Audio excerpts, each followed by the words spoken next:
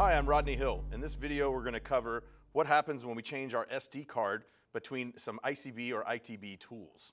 So if we take a look at the two tools I have right here, the tool I have a battery on um, has the, the wireless set up. The tool is powered up right now and also has a yellow socket on here that we'll use to show the difference between these two tools. These are the same two tool types. These are ICB A2115-10s with the HMI on the tool.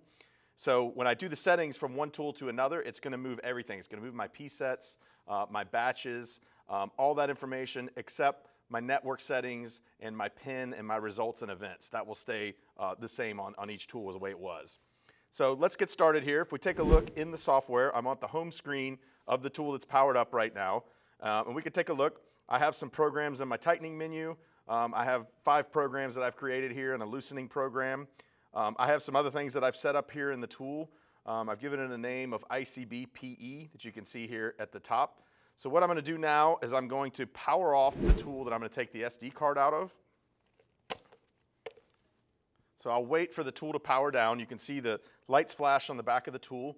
The tool will stay powered up for about 25 seconds, and that gives you a chance to change a battery uh, between uses of the tool, or if you're using the tool during production and you need to change a battery, the tool won't have to completely restart. It'll just start working again right as the, a new battery is attached to the tool. So as that completes here, I'm going to take the SD card from that tool. I have my second tool here that has an SD card in it. I'm going to go ahead and remove that right now. We'll take that out of the tool. And now that my other tool is, has powered down, by all the lights are off so I can tell that it's off, I'm going to grab that SD card, move it over to the second tool, I'm going to put it in place. I'll feel it click in the SD card slot there, and I'm going to power this tool up.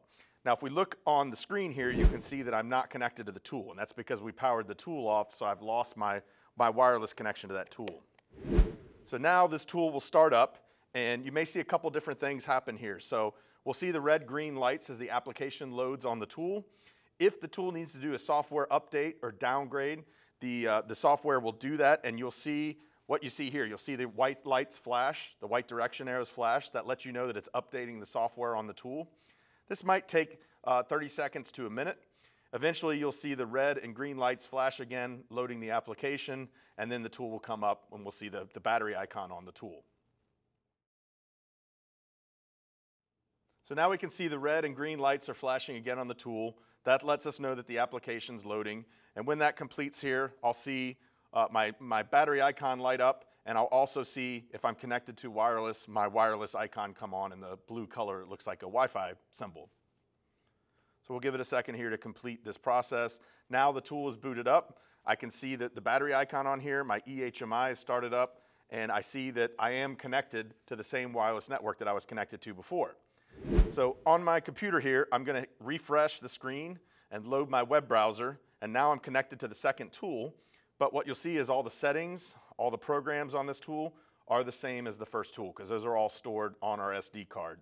So my program names are all the same here and the settings. And if I look in the integrated controller tool menu, I'll see that this tool has the same name. So keeping your settings and changing those to another tool or replacing a tool that might have a hardware problem, very easy to do with the, with the SD cards from the tool.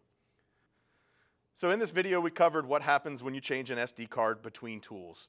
If you have any questions, please contact your Atlas Copco representative, and thanks for watching.